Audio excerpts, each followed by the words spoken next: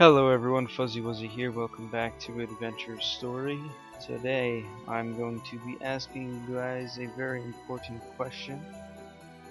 I have way too many corrupteds, as you can see from my corrupteds I'm wearing here, and my inventory is almost full of corrupteds.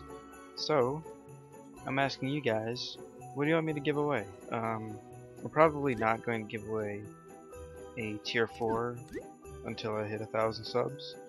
But, um, like I got a Vibrant Corruption Aura, Corrupted Druid Pants, Corrupted Tank Top here.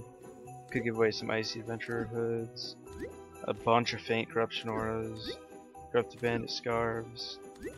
Snowman powers are going to be worth a real lot soon, so give away those.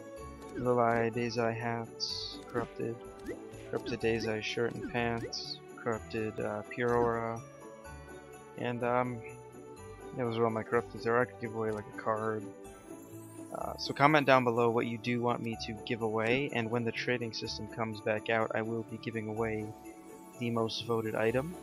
So uh, don't forget to leave a like and comment below what you guys want me to give away. I will make another giveaway video when the time comes when trading's added. So I hope you all have a wonderful night. Peace.